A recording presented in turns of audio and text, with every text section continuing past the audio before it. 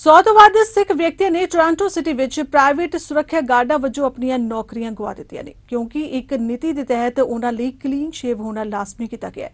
ਤਾਂ ਜੋ ਉਹ ਕੰਮ ਕਰਦੇ ਸਮੇਂ ਸਹੀ ਢੰਗ ਨਾਲ ਫਿਟਿੰਗ 95 ਰੈਸਪੀਰੇਟਰ ਮਾਸਕ ਪਹਿਨ ਸਕਣ। ਅਜੇ ਸਮੇਂ ਵਿੱਚ ਜਦੋਂ ਸ਼ਹਿਰ ਭਰ ਵਿੱਚ ਜ਼ਿਆਦਾਤਰ ਸੈਟਿੰਗਾਂ ਵਿੱਚ ਕੋਵਿਡ ਮਾਸਕ ਦੇ ਹੁਕਮਾਂ ਨੂੰ ਹਟਾ ਦਿੱਤਾ ਗਿਆ ਹੈ, world Sikh organisation of Canada ਨੇ ਇਸ ਨੀਤੀ ਨੂੰ ਬੇਤੁਕਾ ਦੱਸਦਿਆਂ ਕਿਹਾ ਕਿ ਪ੍ਰਭਾਵਿਤ ਗਾਰਡਾਂ ਵਿੱਚੋਂ ਬਹੁਤ ਸਾਰੇ ਅੰਤਰਰਾਸ਼ਟਰੀ ਵਿਦਿਆਰਥੀਆਂ ਦੇ ਰੂਪ ਵਿੱਚ ਭਾਰਤ ਤੋਂ ਕੈਨੇਡਾ ਆਏ ਸਨ।